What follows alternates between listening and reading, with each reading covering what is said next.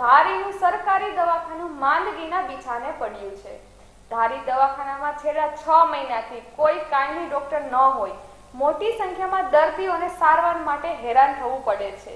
ધારીના સાત ગામડાઓમાંથી હજારો દર્દીઓ દવા લેવા આવે છે અને માત્ર એક જ ડોક્ટર હોય. ડોક્ટરની નિમણૂક આગામી દસ દિવસમાં નહીં થાય તો ધારી ગામ બંધ કરવાની ચીમકી આપી હતી. અહેવાલ જયેશ જેઠવા ધારી.